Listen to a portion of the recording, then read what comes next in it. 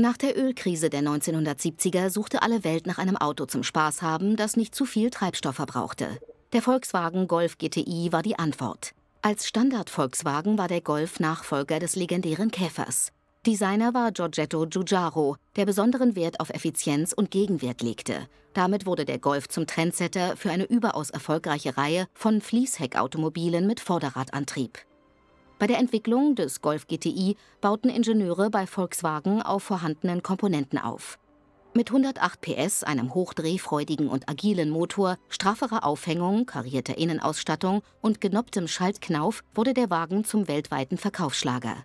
Über sieben Modellzyklen hinweg wurde der GTI mit mehr Sicherheitseinrichtungen, zusätzlicher Technologie und Leistung ausgestattet und ist der Maßstab, an dem sich alle anderen Hot Hatches orientieren müssen.